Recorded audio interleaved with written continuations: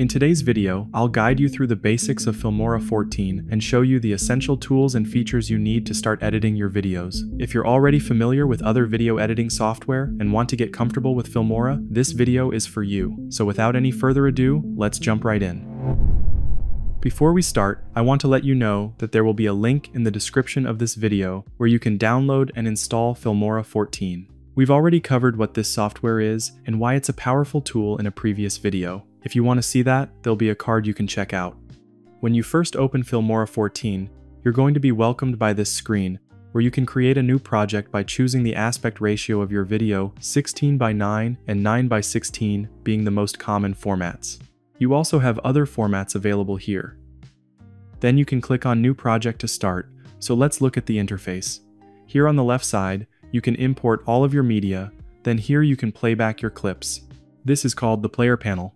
Here you have the timeline where you're going to work on everything, and here you have all the effects and the settings you need to modify your clips.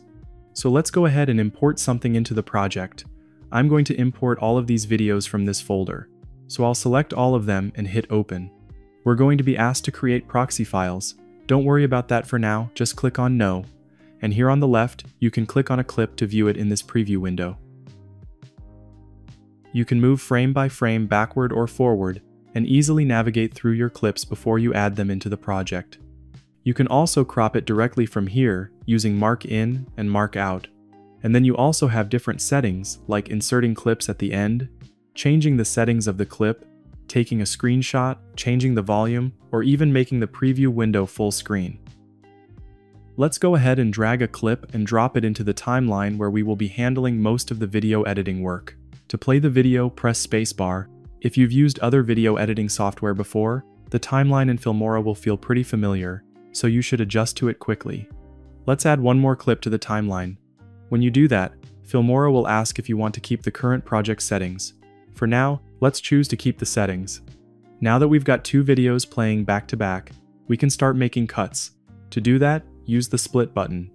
When you click it, it'll make a cut exactly where the playback head is.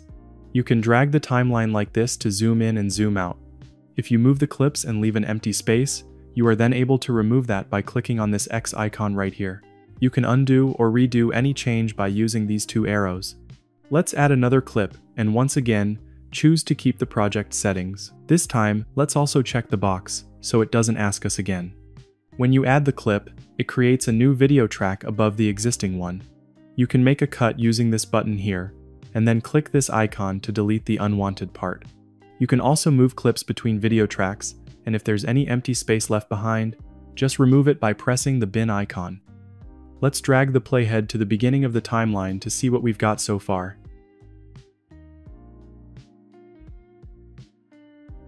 Now let's take a closer look at the toolbar, starting from the left and working our way to the right.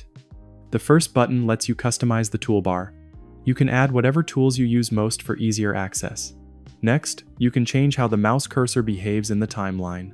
Right now, it's set to select, but you can switch to quick split to make cuts, or use select all forward and all backward to grab multiple clips at once. You've probably seen similar tools in other editing apps. Then you can undo and redo changes, then the delete and trim buttons, and a button to add text. Let's add some quick text to see how it works. Once it's on the timeline, you can click on it in the preview window and start typing whatever you want to customize it. You can also drag it around in the preview to adjust its position. If you want to add another video track, just right click in the timeline and select Add Video Track. You can do the same for audio, right click on an audio track and choose Add Audio Track. Moving on with the toolbar, you can add shapes using this icon right here. Let's go ahead and select an arrow, then draw it in the player panel. You can move it to where you want and resize it by dragging the corners. If you scroll up in the timeline, you'll see where the element is placed. You can also adjust the size of these panels by clicking and dragging between them so you can customize your workspace however you like. You can also add a rectangle, an ellipse, a triangle, and a line with this tool. Next, you've got the option to generate background music with AI, but that's a more advanced feature, so we'll save it for another time. For now, let's focus on this stopwatch icon, where you can control the speed of your clips. This lets you slow down your footage, and it will automatically adjust the position of the other clips in the timeline. You can also speed up a clip, like this one. let's choose 4x. To tweak the speed further, click the arrow next to the clip. From there, you can adjust it to be faster or slower, and the timeline will update automatically to reflect those changes. Now you can also add a freeze frame, which is basically going to keep a still image of that exact moment where you froze the frame. So let's try that on the first video. I'm going to click here and add freeze frame, and you can see that it's going to show where the video is playing normally and where there is a freeze frame. So what I'm going to do is I'm going to erase that, click on the space, and then click X here to remove the gap and bring everything together. Keep in mind that it won't move all the clips, just the ones on that specific track. Moving on in the toolbar, you've got some additional settings. Some are AI related, but we won't get into those in this video. The rest are pretty useful. You can add markers, record a voiceover, enable quick preview mode, zoom to fit the timeline, or zoom in and out using this slider right here. If you want to see the audio meter, just click here and this will show you how loud the audio is. Right now, we don't have any music in the timeline, so let's add something. Go to Import Media, click the plus button, and then browse for your music. I'm going to open this song called Ashes. If you have multiple clips, it's easier to just search for it using the search bar. So let's type in the name of the song, and it should show up right away.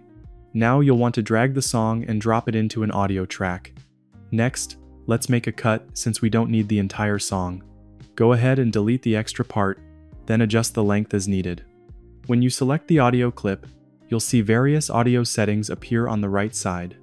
You can adjust all the basic audio settings here, like volume and sound balance. You can also add a fade in or fade out, along with a few other options. If you select a video track instead, you'll see a different set of settings tailored to video. For example, you can change the scale, adjust the position, rotate or flip the clip horizontally or vertically, even rotate it 90 degrees if that's what you're looking for. Here you can also choose the blend mode and you can fill the background with a blurred version of the video, a solid color, or a pattern, which is pretty cool. You can also add simple animations like a fade in or fade out to your videos from this animation tab. Let's drag a preset onto the timeline to see how that works. You'll notice we have a fade in effect on the second clip. These keyframes control how the transition is applied. Another way to add transitions is through the top left window. But before we get into the Transitions tab, let's quickly explore what else is available in this window. First, you've got your Media tab, where you can import all of your own footage. You also have access to Filmora's stock media library. There's a collection of different backgrounds you can use in your videos, including categories like solid color, motion backgrounds, gradients, dark backgrounds, liquid style visuals, and nature clips. There's a wide variety to choose from depending on the style of your project. You'll find things like cinematic clips, vertical backgrounds for TikTok, YouTube specific assets, promotional content for online stores, and many, many more. Next, in this tab, you can generate custom sounds using AI. Just type a prompt, and Filmora will create something for you. You can even base it on the mood of your video, which I think is really fun. Now, let's move on to the titles section. Here you'll find tons of presets to add text to your project. Everything is customizable. Just drag a title into the timeline, select it in the preview window, double click, and start typing your own text.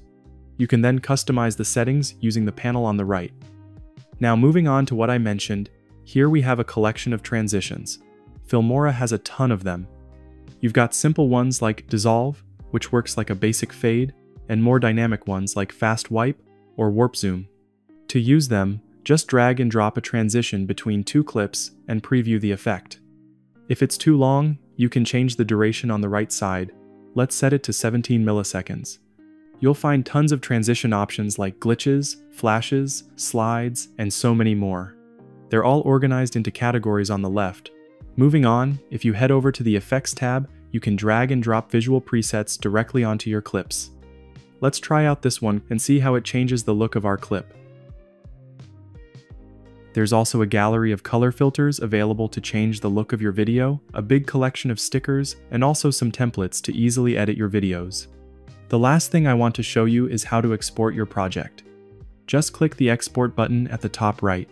You can choose how you want to save your video, locally, for a device, directly to social media, or even onto a DVD. I'm going to choose local. From here, you can name your project, choose the Save location and select a preset. I'll go with Custom, then pick a format. MP4 is the most common. You can also adjust the quality, which affects the file size, then the resolution, frame rate, and a few other settings. Once everything looks good, just click Export. Hopefully that helped you feel more comfortable navigating the Filmora interface and gave you the confidence to start editing your videos with a better understanding of the basic tools. In a future video, we'll explore more advanced techniques like color grading, speed ramping, mm-hmm. masking, and more AI features to speed up your workflow, so stay tuned for that. If you want to continue learning, check out this other video on the screen. Thank you and see you next time. This is Creative Society.